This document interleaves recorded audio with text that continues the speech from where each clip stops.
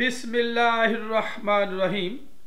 Dear students आज हम discuss करेंगे made in Pakistan spoken English made in Pakistan जब हम किसी चीज़ के बारे में मालूम करना चाहते हैं कि ये कहाँ की बनी हुई है तो ये सवाल इस तरह से पूछ सकते हैं, ये रेडियो कहाँ बना था? Number one where was this radio made तुम्हारी घड़ी कहाँ बनी है? Number two where is your watch made यहाँ पर your Y O U R your watch तुम्हारी घड़ी। और लगा दे यहाँ पे। मेरी कंबल कहाँ बनी है? Number three where is my blanket made जब हम दो या दो से ज़्यादा चीज़ों के बारे में सवाल कर रहे होते हैं तो आर या वर इस्तेमाल करते हैं। मसलन, तुम्हारे जूते कहाँ बने थे? Number one where were your shoes made ये गोलियाँ कहाँ बनी हैं? Number two where are these pills made वो ताले कहाँ बने थे? Number three where were those locks made मदरजा बाला सवालों के जवाब इस तरह से दिए जा सकते हैं।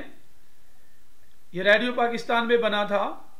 Number one this radio was made in Pakistan मेरी घड़ी जापान में बनी है। Number two my watch is made in Japan मेरी कंबल कोरिया में बनी है। Number three my blanket is made in Korea मेरे जूते इंग्लैंड में बने थे। Number four my shoes are made in England ये गोलियाँ इंग्लैंड में बनी हैं। Number five these pills are made in England वो ताले चीन में बने थे। Number six those locks were made in China note ये सवालात और जवाबात। पैसे वाइस में हैं। इसलिए पैसे वाइस को मज़ीद तफसीलात के लिए मुलाजा कीजिए। मेड ऑफ़ का इस्तेमाल। कोई चीज़ जिस मवाद से बन, बना हो, उस चीज़ और मवाद के तल्ल को ज़ाहिर करने के लिए मेड ऑफ़ इस्तेमाल किया जाता है।